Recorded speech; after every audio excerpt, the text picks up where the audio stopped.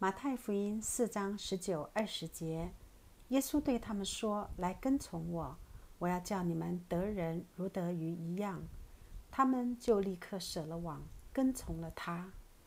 来跟从我，跟从我，原文是指到某个人后面，或者跟从某一个人。所以来跟从我，就是跟在耶稣的后面，也是说做耶稣的拥护者。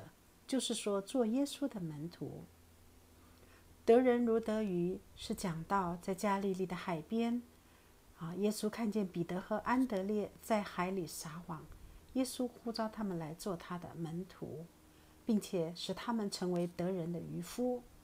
今天呢，主耶稣也对我们说：“来跟从我，做主的门徒。”所以，我们不要只是做个做礼拜的基督徒，而是要委身。给基督做一个传福音、领人做主门徒的人，他们就立刻撒了网，跟从了他。